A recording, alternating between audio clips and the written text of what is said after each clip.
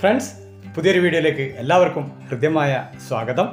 നമ്മളെ വീട്ടിന്റെ അടുത്ത് പുഷ്പിച്ച് നിൽക്കുന്ന മരവാഴേന്റെ പുഷ്പങ്ങളെല്ലാം നിങ്ങൾ കണ്ടു. അതുപോലെ തന്നെ നമ്മളെ ചെക്കീന്റെ കായിനെ കണ്ടു. അങ്ങനെ പ്രകൃതിയിൽ ഇപ്പം പുതുമഴ പെയ്തപാട് തളിർത്ത് നിൽക്കുന്ന കുറച്ച് കാഴ്ചകളെല്ലാം നിങ്ങൾ കണ്ടു. അതിലിടക്ക് നമ്മളെ വാഴ കൊലച്ചിട്ട് മൂത്ത് നിൽക്കുന്ന ഒരു കൂമ്പുണ്ടായിരുന്നു. ആ കൂമ്പ് പൊട്ടിച്ചെടുക്കുന്നതും നിങ്ങൾ കണ്ടു. നമുക്കറിയാം നം പ്രകൃതി നമുക്കായിട്ട് ഒരുക്കിയ അനേകം മായമില്ലാത്ത വിഭവങ്ങളിൽ ഒന്നാണ് ഈ വാഴക്കൂമ്പ്. നമുക്ക് കഴിക്കുന്നത് ശരീരത്തിന് അത്യുത്തമാണ് വയറിലുള്ള കച്ചറകളെല്ലാം വലിച്ച് കളയാനും. അതുപോലെ തന്നെ മറ്റെന്തെല്ലോ ഗുണങ്ങൾ അടങ്ങിയിട്ടുള്ള ഈ വാഴക്കൂമ്പ് നമ്മൾ ഭക്ഷണത്തിൽ നിത്യേന ഉപയോഗിക്കുന്നത് നല്ലതാണ്. ഇത് പറയാനുള്ള ഒരു കാരണം ചില ആളുകളെല്ലാം ഇത് വെറുതെ നശിപ്പിച്ച് കളയുന്നതെല്ലാം കാണാറുണ്ട്. അപ്പോൾ നിങ്ങൾ വാഴക്കൂമ്പൊന്നും നശിപ്പിച്ച് കളയേണ്ട ഒരു സാധനമല്ല. കൃത്യമായും ഇതുപോലെ വൃത്തിയും വെടിപ്പുമായിട്ട് അരിഞ്ഞെടുത്ത് തോരൻ വെച്ച് കഴിച്ചു കഴിഞ്ഞാൽ നമ്മുടെ ശരീരത്തിന് എന്തെല്ലോ ഗുണങ്ങളുണ്ട്. അപ്പോൾ വാഴക്കൂമ്പ് എല്ലാവരും വറക്കുന്നവർ തന്നെയായിരിക്കും അതായത് അതൊന്നും പ്രത്യേകം നമ്മൾ പറഞ്ഞു തരേണ്ട ആവശ്യമില്ല. എന്നാലും ഒരു വാഴക്കൂമ്പ് കിട്ടിക്കഴിഞ്ഞാൽ ഈ കാണുന്ന രീതിയിൽ നേരിയ രീതിയിൽ അരിഞ്ഞെടുക്കുക. അരിഞ്ഞെടുത്തതിന് ശേഷം അതിൽ കുറച്ച് വെളിച്ചെണ്ണ ഒഴിച്ചിട്ട് ഒന്ന് കുഴച്ചെടുക്കണം കേട്ടോ. അതെന്തിനാണെന്ന് വിചാരിച്ചാൽ അതിന്റെ കറുത്ത കറകളെല്ലാം നശിപ്പിക്കാനും അതുപോലെ തന്നെ ഈ കൂമ്പ് കണ്ടല്ലേ കണ്ടില്ലേ ഞങ്ങൾ നമ്മൾ വെളിച്ചെണ്ണ ഒഴിച്ചു കൊടുക്കുന്നുണ്ട്. ഈ വാഴക്കൂമ്പിനെ ഇതളുകളായിട്ട് ഇങ്ങനെ നേരിയ രീതിയിൽ കിട്ടാൻ വേണ്ടിയിട്ട് ഈ വെളിച്ചെണ്ണയിൽ കുഴച്ചെടുത്തു കഴിഞ്ഞാൽ നല്ലതാണ്. അങ്ങനെ നമ്മൾ വാഴക്കൂമ്പിനെ നന്നായി വെളിച്ചെണ്ണയിൽ കുഴച്ച് എടുത്തു കഴിഞ്ഞു. കണ്ടില്ലേ നിങ്ങൾ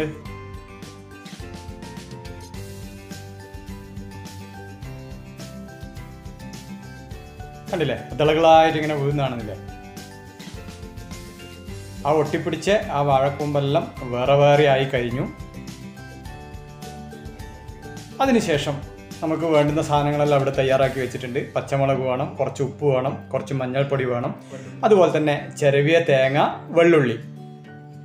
അങ്ങനെ നമ്മൾ കുറച്ച് ഉപ്പ് ചേർത്ത് കൊടുക്കുമെന്ന് അത് ആവശ്യത്തിനാണ് കേട്ടോ. എല്ലാം മഞ്ഞൾപ്പൊടിയും അത്യാവശ്യത്തിന്. അങ്ങനെ മഞ്ഞൾപ്പൊടിയും ഉപ്പും കൂടി നന്നായി യോജിപ്പിച്ചെടുക്കുമെന്ന് കണ്ടില്ലേ നിങ്ങൾ ഇതൊന്നും വഴക്കൂമ്പ് വറുത്തെടുക്കുന്ന കാര്യങ്ങളൊന്നും എല്ലാവരോടും പ്രത്യേകം പറയണമെന്നൊന്നുമില്ല. പക്ഷെങ്കിൽ നമ്മൾ ചെയ്യുന്ന രീതി നിങ്ങളെ പരിചയപ്പെടുത്തുന്നു എന്നുള്ളതാണ് ഇതിന്റെ ഒരു പ്രത്യേകത. അതിന്റെ കൂടെ നമ്മൾ പച്ചമുളക്. പച്ചമുളക് എല്ലാം നിങ്ങൾക്ക് ആവശ്യത്തിന് ചേർത്ത് കൊടുക്കുക. നമ്മളിപ്പം ഒരു പച്ചമുളകേ ചേർത്തിട്ടുള്ളൂ. ഒന്നോ രണ്ടോ ആയിപ്പോയാലും കുഴപ്പമൊന്നുമില്ല. അങ്ങനെ നമ്മൾ ചട്ടി അടുപ്പത്ത് വെച്ചു. ചട്ടി നന്നായി ചൂടായി കഴിഞ്ഞു. അതിനുശേഷം അല്പം വെളിച്ചെണ്ണ. കാരണം എന്ന് വെച്ചാൽ ആദ്യം വെളിച്ചെണ്ണ കുറച്ച് അതിൽ കൂടുതൽ നമ്മൾ പുരട്ടി കഴിഞ്ഞു. അപ്പോൾ കുറച്ചേ വേണ്ടു. ആ അരി പൊട്ടി എടുക്കാൻ വേണ്ടിയിട്ടുള്ള ആ ഒരു കുറച്ച് വെളിച്ചെണ്ണയെ അതിൽ ചേർക്കുന്നുള്ളൂ. അങ്ങനെ കുറച്ച് വെളിച്ചെണ്ണ ചേർത്തു. അതിൽ നമ്മളെ ചോറ് വെക്കാൻ ഉപയോഗിക്കുന്ന അരി ഇട്ട് കഴിഞ്ഞു. ആ അരി നല്ലോണം പൊട്ടി വന്നു. അതിനുശേഷം നമ്മൾ വറ്റൽ മുളക് അതെല്ലാം ആവശ്യത്തിന് നിങ്ങൾക്ക് ചേർക്കാം. നമ്മൾ അത്യാവശ്യത്തിന് മാത്രമേ ചേർത്തിട്ടുള്ളൂ. അങ്ങനെ വറ്റൽമുളക് ചേർത്തു. അതിനുശേഷം നമ്മളെ ഈ എതളുകളാക്കി അതായത് വിടർത്തി എടുത്ത വാഴക്കൊമ്പിനെ നമ്മൾ അതിലേക്ക് ചേർത്ത് കൊടുത്തു. കണ്ടില്ലേ? അതിനുശേഷം നിങ്ങൾ നന്നായി ഇളക്കി കൊടുക്കണം കേട്ടോ. കാരണം കുറച്ച് വെള്ളവും കൂടി അതിൽ കുടഞ്ഞു കൊടുക്കണം. കാരണം കുറച്ച് വേവ് കൂടുതൽ വേണ്ടുന്നവർക്ക് കുറച്ച് വെള്ളം കുടഞ്ഞു കൊടുക്കുന്നത് നല്ലതാണ്. ഇല്ലെങ്കിൽ ശരിക്ക് വെന്ത് കിട്ടൂല. അതുകൊണ്ടാണ് ഈ വെള്ളം കുടഞ്ഞു കൊടുക്കുന്നത്. അങ്ങനെ ഇടക്കിടക്ക് നന്നായി ഇളക്കി കൊടുക്കുക. കണ്ടില്ലേ? ഇതാ കുറച്ച് വെള്ളം. അങ്ങനെ കുറച്ച് വെള്ളവും കൂടി അതിൽ ചേർത്തു. ചേർത്തതിന് ശേഷം നന്നായി ഇളക്കി കൊടുക്കുന്നതാണ് നിങ്ങൾ കാണുന്നത്. ഇതിന നന്നായി ഇളക്കി ഇളക്കി ആ വെള്ളം നമ്മളിപ്പം ചേർത്ത വെള്ളം വറ്റുന്നത് വരെ കൂമ്പിനും കുറച്ച് വെള്ളവും കാര്യങ്ങളെല്ലാം ഉണ്ടാവും. ആ കൂമ്പിന്റെയും നമ്മൾ ചേർത്ത് കൊടുത്ത വെള്ളം എല്ലാം വറ്റുന്നവരെ നന്നായി ഇളക്കിക്കൊണ്ടിരിക്കുക. കണ്ടില്ലേ? ഇപ്പം ഏകദേശം നമ്മൾ ആ പറഞ്ഞ രൂപത്തിൽ വെള്ളമെല്ലാം വറ്റിക്കഴിഞ്ഞു. അതിനുശേഷം നമ്മൾ ചെയ്യുന്നത് ചിരവിയ തേങ്ങയും വെള്ളുള്ളിയും കൂടി ചേർത്ത് കഴിഞ്ഞു. കണ്ടില്ലേ? ഇപ്പം തന്നെ നിങ്ങൾക്ക് മനസ്സിലായി കഴിഞ്ഞു.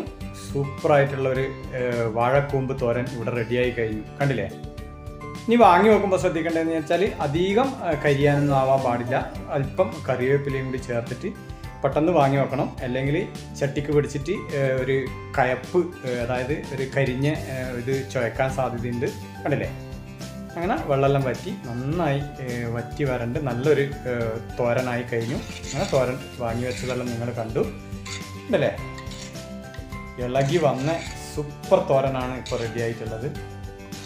എല്ലാവരും വാഴക്കൂമ്പ് വറുത്ത് കഴിഞ്ഞാൽ ഈ രീതിയിൽ ശരിയാവണം എന്നില്ല ശ്രദ്ധിച്ച് നിങ്ങൾ ഞങ്ങളിപ്പം പറഞ്ഞതുപോലെ കൈകാര്യം ചെയ്തു കഴിഞ്ഞാൽ ഒരു സൂപ്പറായിട്ടുള്ളതാണ് ഈ കാണുന്ന രൂപത്തിലുള്ള സൂപ്പർ വാഴക്കൂമ്പ് തൂരൻ എല്ലാവർക്കും ഉണ്ടാക്കാൻ വേണ്ടി പറ്റുന്നതാണ്. എല്ലാവരും ഒന്ന് ട്രൈ ചെയ്യുക.